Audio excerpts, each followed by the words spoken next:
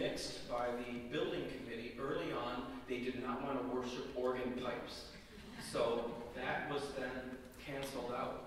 The next place where it was moved while the building was being built was in this first alcove bay here by where the images of Our Lady of Guadalupe. And that was the plan. And then as the building continued to grow and design, that ended up being the place for the choir. So the organ continued to move and ended up going way over there where St. Peter is. And so how it worked and everything from the dedication, the very beginning of this church, the swell was on the main floor. So it sang into all those people's ears who were right there.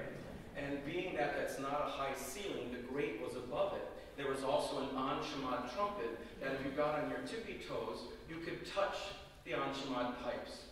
It was not exactly the most ideal situation, but that's what worked and that's what happened. That's what existed in this place for more than 20 years. Then, on Holy, during Holy Week of all things of 2010, the organ failed. And we were left just with the piano for the rest of Holy Week and Easter. And we did not have this beautiful Steinway at the time.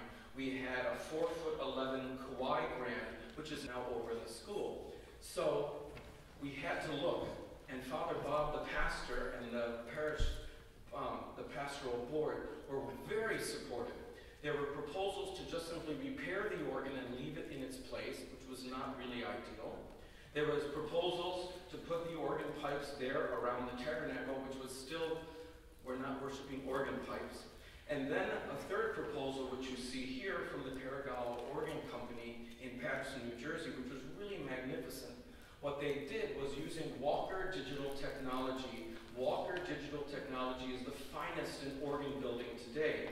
And so the swell and choir are up in that area where the original sound was supposed to come. And actually, that's the most re reverberant spot in the whole church. Then the old great and swell became the new great and positive with additions. So this is the great on this side and the positive. And then in little chambers back on that side is the pedal division, just to give you an idea of what you feel, the rumble, which you'll feel today. So Father Bob and the pastoral board were wonderful. They unanimously decided to go with this design. And I am so pleased, and it has been a sheer joy to play on. And really, I think it's one of Peragallo's finest instruments. I'm very pleased to say that. What works when I accompany the congregation and lead in hymn singing is I think of that as grade one and grade two.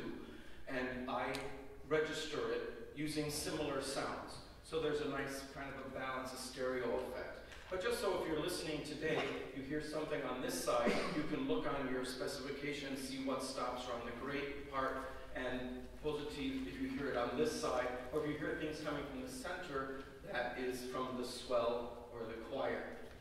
Then Father, four years after that, Father Bob was again wonderful and very supportive in getting us this beautiful new, well it's not new, it was newly rebuilt, this beautiful Steinway Grand. And so it has been a pleasure, and so you'll get a chance to hear both of them. I'm going to begin by playing a short little piece um, based just to give you an idea of the sounds of the organ, and then we're going to do organ end. So especially I want to welcome the AGO. This is our first concert back with, that we since everything closed down more than two years ago, and so I'm very honored that we were able to host this event. So welcome I'm glad you're here.